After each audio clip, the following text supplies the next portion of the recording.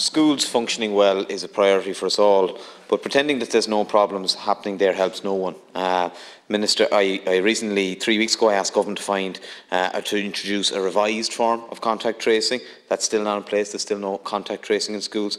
But we also have a really serious, extremely serious substitution crisis. It's debilitating schools. Uh, one principal gave an example of 11 rejections from the Subseeker uh, programme in nine days principals of cancelling boards of management, continuous professional development, all the local solutions that are being talked about, principals have exhausted them. There are options. Uh, the banked hours could be reinstated. We can discourage the length, lengthy block booking of subs and we can extend panels to the whole country.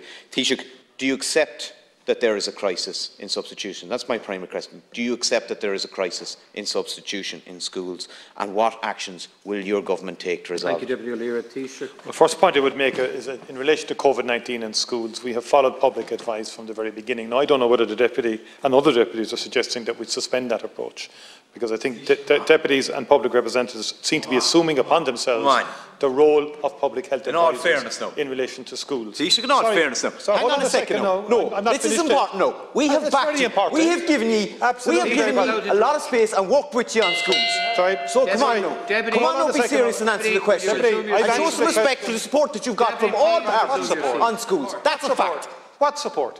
What support? Your party has been the most divisive party in on relation to education. COVID-19 for the last talk, 12 to, months. talk to Minister Foley. You have been Talk opportunistic. I'm not talking about you personally. I'm talking about your party. On You've been education, on opportunistic. schools, you have been divisive, and you've played at both sides been all enormous. And you haven't even allowed me finish replying. You're to answering a question that you I'm picked I'm yourself. It wasn't the same question. question. I'm answering. You, did- you asked. You Substitution. Mentioned, you mentioned two things. You mentioned COVID and substitution. I was going to deal with both of them if you had the good manners to wait and get the reply. The bottom line is this on COVID-19. I'm going to say it once again. We've adhered to public health advice. If you want us to jettison public advice, have the guts to say it and stop trying to hide behind blaming government. On the second issue in relation to substitution, of course there's a challenge in relation to substitution. There's a range of measures uh, that the Minister uh, has put in place and uh, significant and substantive resources have been made available to the schools and to principals in respect of substitution and the Minister is open to doing everything possible you, to alleviate the pressures on principals in respect of substitution. Deputy Let Marian that be a Harkin. message to opposition Deputy when they Marian back, when they work with government. Cut out- cut That's out- the thanks they get. Cut out the blackguarding now, you.